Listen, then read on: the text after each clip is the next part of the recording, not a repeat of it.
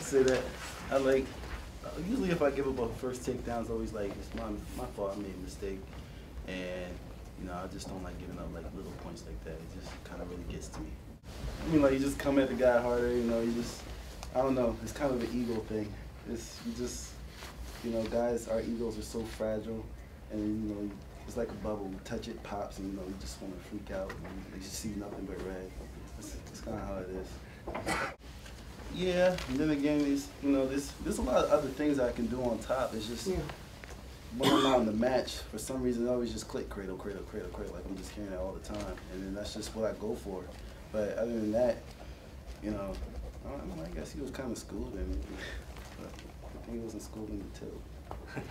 Or kind of talk about what went into that optional start there in the third period. That Oh yeah, it's just a new rule that they I think they started two years ago. Not a lot of people do it, but whenever the guy has a choice of bottom, instead of you know wasting three or four seconds, you know letting the guy up whenever you're planning to let him up, you can just show the rep, let's go neutral, give the guy a point, start on your feet. So you know, coach Coach Casey's like, get one more takedown, get the major, or you know, so that's pretty much what I did. one dual meet remaining in rec hall.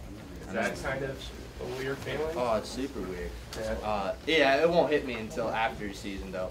But you know, it's just part of the season now. But next year, whenever I'm not wrestling in rec hall, you know, that's the that's when it's really gonna hit me. You know, he shot and I reshot and you know, got my got my angle that I wanted and you know, it was all from there. Just go behind, get to the legs. Dylan, what did it feel like for you to get back out there and, and kind of go back after it, uh, you know, in a dual meet setting? And, and what was the process for you to to wrestle today to, to get that spot back? Um, you know, I just been training last month, and you know, always moving forward and working to the for my, to my goal to be a national champion. Uh, the process was uh, just to make it fair for everybody, just uh, just to wrestle off and see where it went from there. And uh, I mean, I was doing what I what I could just to get back in back in the action. Just excited. What, what did you see there? Uh, I mean, it looked like he had had control. Is that kind of what you guys saw? Well, it's a close call, and that's uh, our, you know, our right to have him review it, and that's what we did. You're 0 for 2 on that. I know. Did you look at the screen? You said last I time. couldn't see it. They turned it away Yeah, from that's, me. the last time you said maybe you weren't supposed to look at it. Yeah, I figured that out. But, um, yeah. You gotta, you know, you gotta try if you think uh, you gotta fight for what you believe in. I guess, right? Do you like the rule? The the review. I don't personally like the review, but um, you know, if it's there, uh, you know, we'll use it to help our guys if, as much as we can. I guess. I Coach, just- did you, uh, did you assess the play of the Alton Twins today, first time back in about a month, and it seemed like Andrew seemed a little bit tired at the end. Do you think time off hurt him at all? Um, well, yeah, I mean, obviously Andrew wasn't himself. Um, why that is, uh, we'll figure that out. But, um, you know, a lot of it's just, you know, making the decision that you're ready and deciding to be focused. And, um, you know, a lot of it's a mental game, obviously. And I think he just needs some time to, uh, you know, get back to where he wants to be. And he could do that in a, in a snap of the fingers, or, you know, maybe it might take a few matches. But, um, but he's in good shape. You know, he trains hard. It's just a matter of uh, making that decision and, and you know, doing what it takes to just go out there and enjoy yourself. You know, when he's enjoying himself and uh, wrestling, he's so smooth and talented. He can, you know, he can score from any position. Great scrambler. But I mean, you could see in his face he wasn't really um, wasn't all all there tonight. So. Um, that's just the way it is. But Dylan, uh, you know, he knew he had a big match, and he did a great job. Conditioning was something that he's learning to use in his advantage, I think, in those in those tight matches, and that's just something that he's he's worked on, and, uh, he's getting better at. But you know, that was a tough opponent. I think he was, you know, rightfully won the the original Riley Award just because it, you know. uh, James Green's a very good, very good wrestler, and they wrestled three times, and all three matches have been very similar. You know, it's a last second, second uh, score.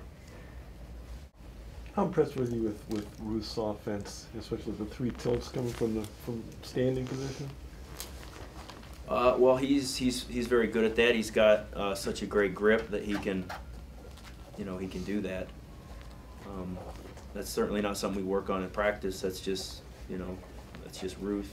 Just like his cradle, you know, he's he's an exceptional, uh, has exceptional strength, and uh, he just has to be careful because he, even though he's looking for a turn up there and he's active, you know, the the way they call stalling is, you know, he gets he seems to get called for stalling every once in a while, even though he's probably got more turns from that position than anybody in the country. He's not stalling, but it's just a technicality uh, in the rules.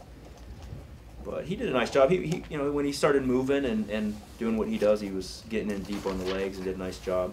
Uh, he had, he had a tough opponent, obviously. That kid, uh, kid's a tough kid, experienced, real strong, um, solid. And uh, Ruth, Ruth uh, you know, after giving up the first takedown, just kept bugging away, and you know, ended. I think ended up getting that tech fall, which is good to see. I like just the blue. I like this is who we are. This is what we wear. But you know, it's just four years of kids pretty much begging to wear those white singlets. We finally decided to let them wear the white singlets. So, um, I mean, I'm just like, hey, this is Penn State. This is our singlet. I don't like switching singlets up, um, but that's just me personally. But you know, it's not all about me, I guess. So, you know, we're doing what the kids want to do, and they, that's why we had the camo singlets earlier, and you know, obviously to honor our, uh, you know, our armed forces. But um, yeah, it's fun for the guys to change things up. I feel like this team is is ready for the challenge of wrestling at Iowa in front of a hostile crowd against a team that good? Uh, I'm I'm excited about it. You know, I think uh, uh, you know we'll see. You know, we'll see. You just don't get many opportunities in, in your wrestling career. I mean, we're fortunate to have that atmosphere here every one of our matches.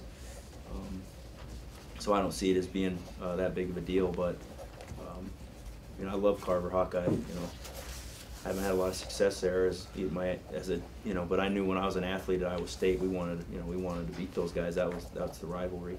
So I have uh, you know probably a unique uh, uh, perspective, and you know we want to get in there and do what we can do. But you know when they, they'll have you know 15, 14, I don't know, it depends on. But they uh, last year I was at Iowa State, they had. 16,000 fans there. It was the, the record, but it wasn't the noisiest time, you know, because we, we wrestled pretty good. Uh, not very, not great, good enough. We lost, but um, so it kind of just depends on just like here, you know, if they come out here and they they uh, wrestle well, the opposing team, our you know our crowd's silent. So it all just depends on how you go in there and compete and have a good time. But I'm excited for these guys because it's a challenge. You know, we, we, we need to be challenged. Uh, you know, Ed needs to be challenged. David Taylor, well, he's been challenged but he thrives on that. You know, these guys thrive on it, and uh, there's no better place outside of Rec Hall than to wrestle than you know Hawkeye.